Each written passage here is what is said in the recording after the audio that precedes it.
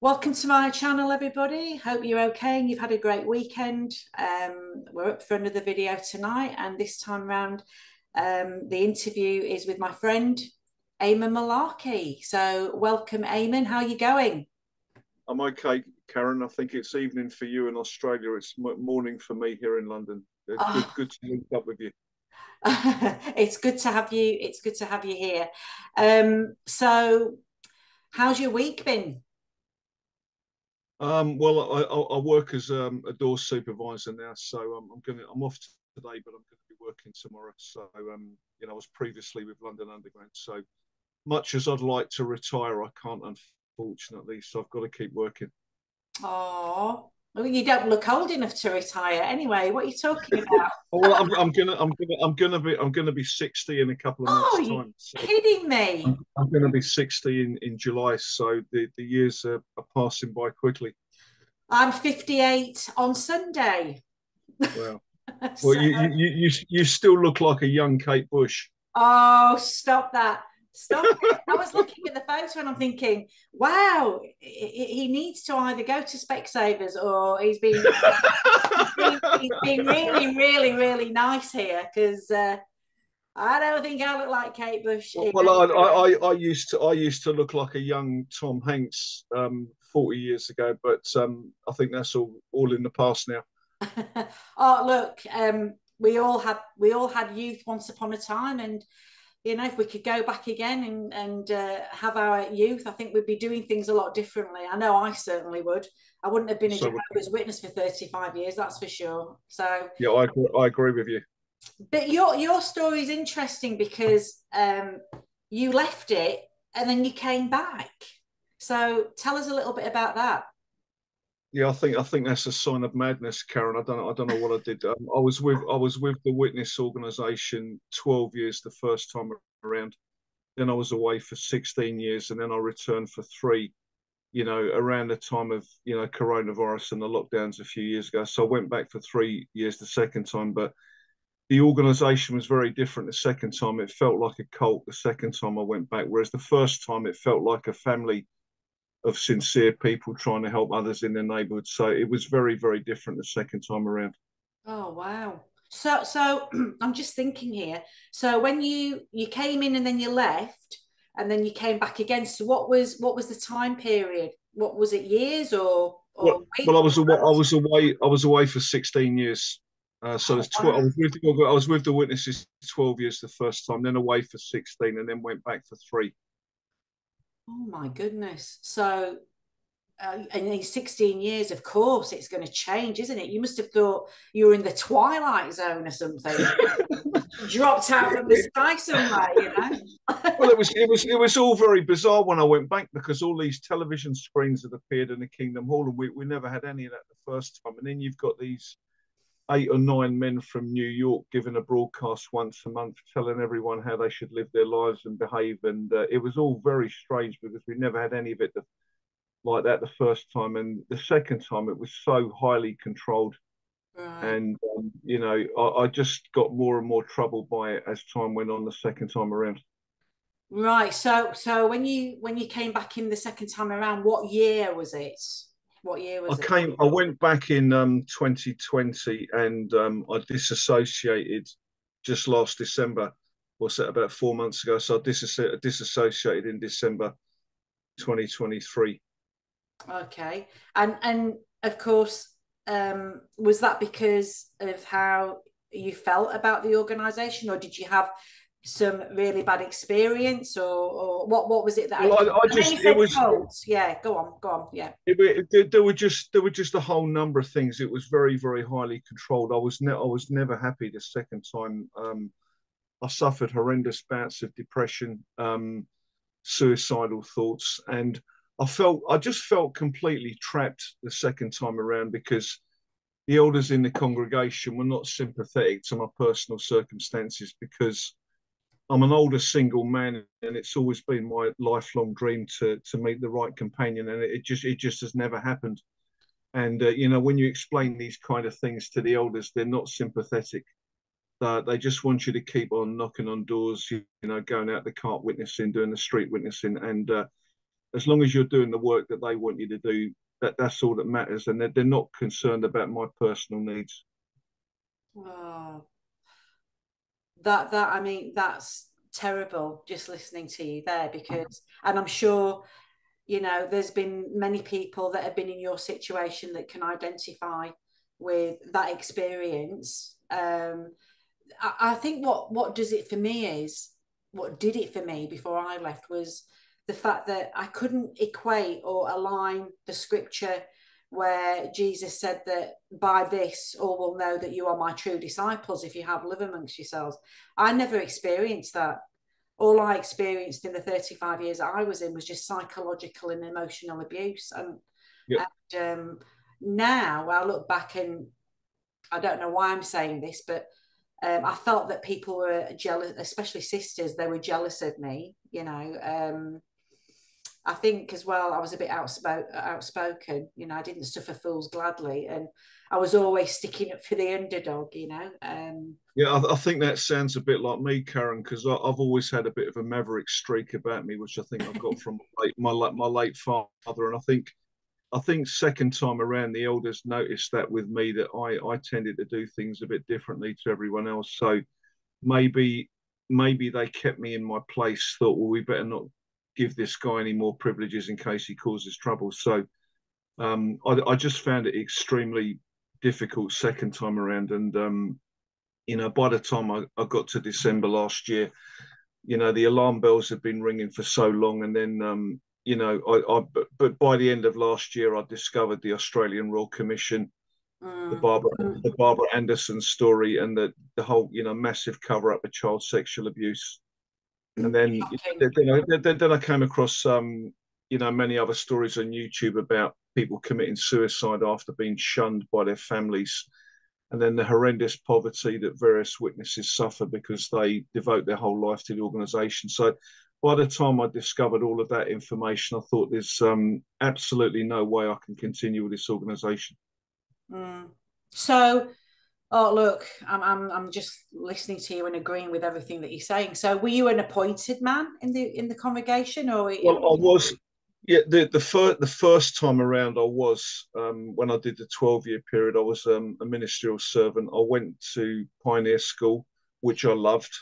Right. I went I went to ministerial training school, which I hated, absolutely hated.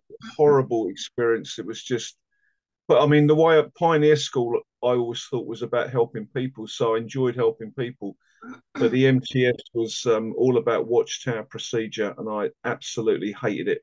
Yeah. Um, I couldn't couldn't wait for it to be over. So I was uh, a ministerial servant with quite a bit of responsibility the first time, and then then more than twenty years ago, I did get approached on one occasion by an elder, and he asked me what I thought about serving as an elder, and I said no because oh. there, there, was there, was a lot of turmoil going on in my life at the time because my, my brother was trying to kill me you know um, schizophrenic alcoholic brother so i had all this going on and I, you know and th- that was one of the few wise decisions i ever made um, saying that i do not want to be an elder. And i'm glad now in hindsight i said no.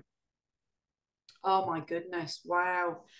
Oh mental health in the family. Um i'm hearing you because i came from that background too. And then obviously having worked in it professionally uh, with my own experience, my own lived experience too, uh, growing up. So um, I get what you're saying, but you see, these men, these elders, um, and again, if you had have accepted an appointment, perhaps you would have stuck out. You would have been the lone voice in the wilderness. You would have stuck out like a sore thumb because you get issues that people go through. These men are not equipped, they're not trained, they're not um, capable of showing empathy, compassion.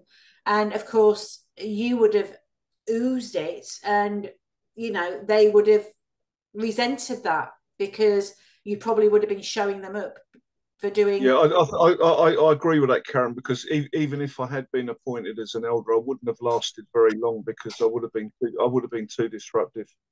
And um, you know, what I, I, I totally agree with what you just said because the the men that are appointed as elders do not have the qualifications. They're not qualified as counsellors. They're not qualified in the law. Uh, they're not mental health professionals. And, you know, one of the examples that comes to my mind now is the judicial committees and um, particularly the appalling way in which they treat women. They oh. treat women. They treat women in the most awful way. And I, have come across some YouTube interviews where, you know, I, I, heard one recently where a lady appeared in front of a, a judicial committee some years ago, and um, you, you, know you can imagine that the three elders she appeared in front of, you know, the three of them might have been window cleaners for all I know. You know, they've got no, no professional qualifications. They normally are, aren't they? Yeah, so so that the ladies appeared in front of the judicial committee and apparently on a you know regarding a case of sexual immorality, and the elders were asking the most intrusive questions you can imagine. You know, the, uh, one of the things that well, a couple of things that astonished me. They asked the lady regarding the situation. You know, what color underwear was she wearing? You know, what what what right what right have they what right have they got to ask such a question? And then apparently, when she was appearing in front of this judicial committee, there was another elder taking very detailed notes in a notebook.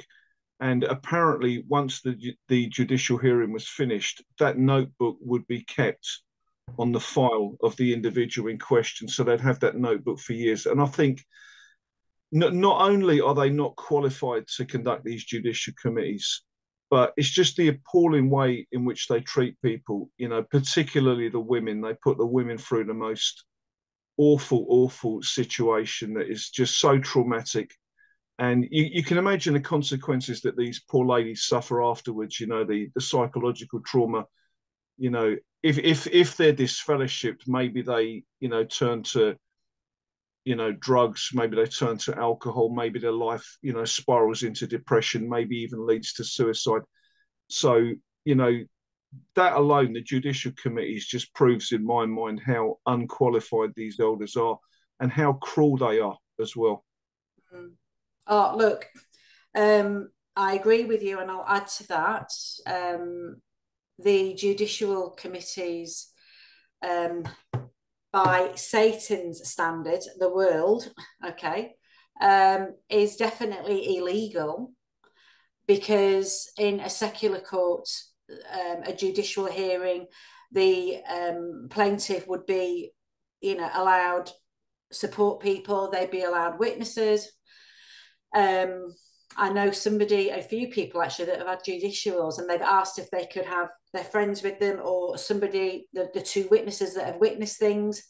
They've said, Can I bring my notebook in to make some? No, nothing, absolutely nothing. And so, um, and there's a reason for that because they know, the elders know it's illegal and they know it's unscriptural. Because if you look at um, very quickly, um, if you look at how things were done in Bible times, the elders would sit at the, the gates of the, you know, the the, the groups, the, the tribes and, and everybody else. And if there was a hearing, everybody, the whole congregation heard what was going on. It wasn't clandestine, you know, cloak and dagger, you know, make sure nobody can see the person coming in and make sure nobody can see us, you know, giving them, giving the, the person, you know, their um, uh, interrogation um, that's how it happens all the time, you know, behind closed doors. And what you just said about women, I agree. Uh, the youngest girl that I have heard of that was brought before judicial, which included facing her abuser, was a five year old girl. Oh my goodness me. And can you imagine a five year old girl sat in front of three men with her abuser there. There was nobody for her. And trying to tell these three men what that man did to her in a five year old girl's, you know, interpretation. Can you imagine? Disgusting. It's just, it's just, it's just absolutely unbelievable. And, um, you know, the, the elders in various congregations around the world have been given this responsibility or something that they're not in, that they should not be doing. But this is why ultimately I hold the governing body accountable because the governing body are, presiding over these congregations and they're instructing elders to do these things. And I mean, the, you know, as time went on for me, second time around, I realised how wicked, truly wicked the governing body are, and I think you you probably share my feelings on that, Karen. That um, they have to be held to account, you know, for um, many of the wicked things that they're doing at the moment. Oh, look, I just think that the writings on the wall, Eamon, I think, um, you know, social media and the advent of the internet is um, really their arch enemy. Um, and it, so it should be because what has been done in darkness for decades and decades is now coming to light. And all of us that have come out and in the XJW community, we've all got stories or a story to tell. And of course, you know, a thousand people, two thousand people, a million people can't be wrong. Absolutely. And and I think I think I think the thing I find so disturbing about the governing body is that they now claim to be substituting for Jesus Christ, oh. and they've got absolutely no no right to make such a claim. Mm. And the, the enormous control that they have, have over people's lives, that they literally control people's lives from cradle to grave. And there's, there's just a number of points that I've got sort of listed here. Um, the, the baptism that they put three people through to go into the organization is unscriptural because they're baptizing in the name of Jehovah and in the name of the organization. So you are basically dedicating your life to an organization. And what, what, what really disturbs me about the baptism as well is how they're baptizing children. Um, I, I, heard of one case where a, a, person, I think, was baptized at the age of 10 and was disfellowshipped a year later. So why why on earth is a child being baptized at the age of 10 you know, I mean, Jesus himself was baptized at the age of 30 mm. when he was a great when he was a grown man and he could reason, and yet the governing body is putting um, youngsters through this terrible, terrible procedure, this terrible process. And um, you know, and then it, it's bad enough someone being baptized and then disfellowship. I mean, it, it's very traumatic for an adult, but how how is it for a child? Oh. It must be completely overwhelming for a child yeah because uh, exactly right and you know they're brainwashed to get baptized in the first place. And then of course you know um, woe betide you if you're baptized when you're a teenager 16 17 years i don't know how old in england but you get disfellowship you're kicked out of the house. That's it you're on your own and that's why many people commit suicide. Many young people commit suicide because they've lost their support networks, they've lost their friends. I mean, I've just lost one friend of 15 years and I'm heartbroken, I'm devastated. But, you know, once the plaster's ripped off, in terms of what you see this organization is about you can you can never go back you could never go back for even the closest of closest of friends you just couldn't you know because you couldn't live with yourself if you got any um, you know, scintilla of morals. you, you just couldn't. Yeah, and I mean that, that's there's just there's a whole number of examples how the governing body are, are exercising such wicked control over people's lives. So baptism's one of them. Yeah. And I think just thinking of my own case, being an older single man, and just thinking of single people generally in the organisation, you know that they make they make it virtually impossible for single people to find a marriage partner. You know, they they they focus on this um, so-called scriptural principle, marry only in the Lord. But their their definition of that means that you've got to marry one of Jehovah's Witnesses. And to look at it from a woman's perspective, you know, she might be in a congregation somewhere, so she knows she can only marry a man who's a Jehovah's Witness. But then she's also told she can only marry a man who is an appointed man, a minister or servant or an elder or in, in you know a position of responsibility. So her choice is narrowed to almost nothing. And you know, there are many, many people, both men and women around the world that would long to find a life companion that are being stopped from doing it by a truly wicked governing body. Mm. Oh, I mean, I, I, don't even know what to say to that because it, it's you, you, can't you know you, I can't believe that you're saying it and yet everything that you're saying is true because this is exactly what's coming out now about this organization and you know I think uh, it might even take you know a second video with you to get through you know some of the things that you need to get through yeah. Eamon, and it takes as long as it takes because yeah. people need to hear it and yeah. um you know i for one i mean the more people like you speak out the more people can be educated because you'll get you know you'll get jehovah's witnesses that are active that are looking on you know so so-called apostate channels and they'll see you know videos like this and they'll see um, what people like you and I are speaking about and you know somehow they'll be able to resonate with that you know. Um, what were the what were the other subjects that you wanted to talk about? Yeah, there was. Um, I mean, you know, I think a subject that we're aware of that maybe the general public are not aware of is the Pillowgate saga in the organisation, where which is I was just, just thinking uh, that which is absolutely unbelievable because how these um, young single men, maybe single women as well, in, uh, went into the Bethel homes around the world, and I mean, just to focus on the single men, they were living under such mental tyranny that you know when they're alone in their room at night, they're literally told not to touch their private parts you know, because they're committing some unforgivable sin that you know many of them are re- resorting to using a pillow to you know relieve whatever sexual frustration they've got.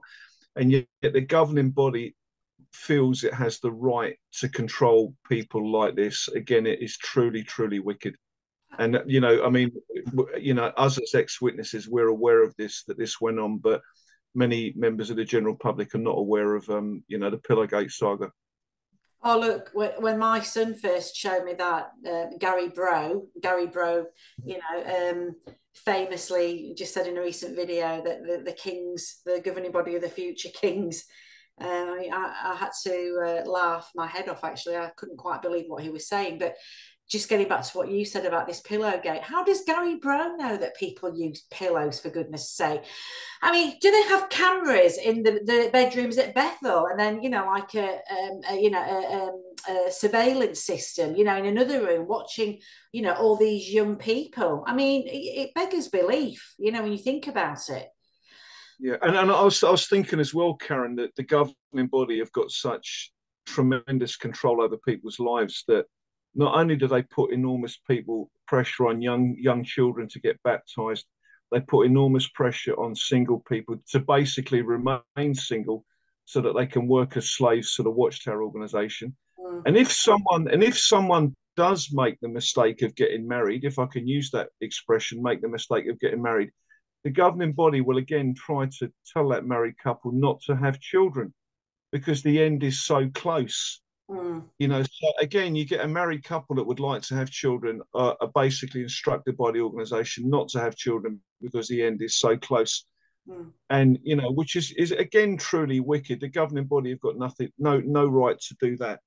And then and then you think, you know, when when that married couple go into you know the older years of their life, because they've devoted so much time to the Watchtower organisation, they don't have any retirement savings or any money put aside because they've done menial jobs throughout their life and they've devoted their life to the Watchtower organisation.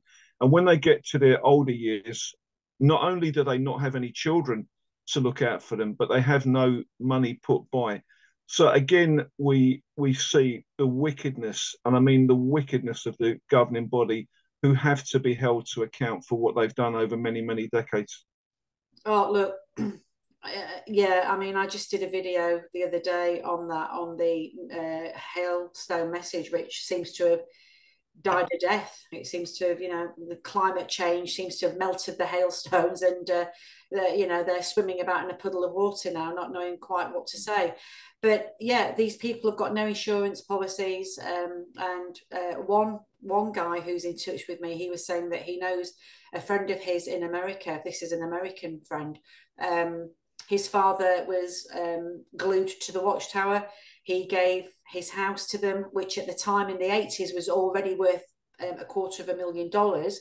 So can you imagine what the governing body got for it when they sold it on?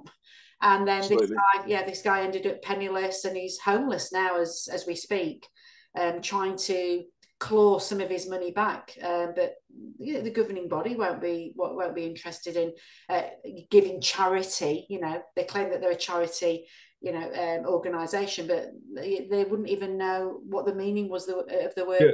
they hit it if it hit them in the face, you know. So it's, it's, it's funny. It's funny you mention that, Karen, because I, I, I went to um, a local church earlier in the year in South London, and the um, the man that gave the um, the speech on the Sunday, he made he made a very interesting point. He was discussing the relationship between the person attending the church and then the church uh, church's relationship with that person and he said it should be a two-way process you know what i as an individual can do for the church mm. but more important more importantly what the church can do for me and that made me think having gone to that local church to hear that sermon that when you think about the watchtower society it is all one-way traffic it's always about it's always about what we as an individual can do for the watchtower society they have got absolutely no concern for us as individuals and you know people devote their whole lives to the Watchtower Society. Mm. Oh, look, um... that you've been lied to, and you know, you know, an, an, an illustration came into my mind recently. You know that how they've they've got millions of people around the world chasing a carrot, if I can use that expression. But it also reminded me of the world of greyhound racing, how you get the greyhounds running around a track every week, chasing a fake rabbit. Mm no matter, no matter how many times the, the, the greyhound runs around the, the, track, he's still chasing a fake rabbit. And you've got the Watchtower Society, you know, they've got people out working very, very hard. You know, you can live forever in, in paradise on earth when, you know, basically the true followers of Christ have a heavenly prospect, don't they? That, you know, those that Christ deems faithful will reside with him in heaven. So, the Watchtower and the governing body have been misleading people for decades and decades, and it, it again, it's beyond wicked. It really is. Yeah, it look it is wicked, and I echo all of those things that you've said. I totally agree, one hundred and one percent. And you know, it's the blind leading the blind, and hopefully, some of the most innocent people in there will wake up. You know, before um, everything comes tumbling down. But I just wanted to ask you if um, you'd be willing to come back and talk about the rest of the topics that you want to talk about. Um, yeah. Uh, would that be all right, Eamon? And we can. Yeah, yeah, we, we we could we could certainly we could certainly do that another time, okay. Karen. Um, okay. I mean, maybe just maybe just in conclusion, you know, I must commend you for oh. launching launching the petition that you did recently, and um, it just occurs to me that the Watchtower society is now in a death spiral. It's only a matter of time before it collapses. Mm. And you know, I I now, I now realise it. It's going to take the work of many thousands of ex-JW activists around the world to bring this wicked organisation to its knees. And you know, whether whether people use political means, legal means, social media, whether they speak to their family and friends, their work colleagues, their neighbours, I think the way the way to bring the organisation and the governing body to its knees is to attack them on many, many different fronts. Yeah. And uh, again, I must commend you for launching the petition recently, which was very brave, very courageous on your part. And you know, just just just finally, myself speaking personally, that the, the idea that I had in mind is maybe a social media assault on the Watchtower and you know again i'm i'm not particularly savvy with social media but you know on various social media platforms you can use a certain hashtag so may, maybe we could use a hashtag um, hashtag just wicked capital j capital w for the watchtower organization jehovah's witnesses. Hashtag just wicked and then and then highlight the many many awful things that they've done over many decades to many people. Thank you so much. Well thank you Eamon. We'll we had to end the video there, unfortunately, but I just want to take uh, this opportunity to thank you, Eamon, for coming onto the channel and um, talking about your experiences and exposing the Watchtower's cruelty and abuse over the years.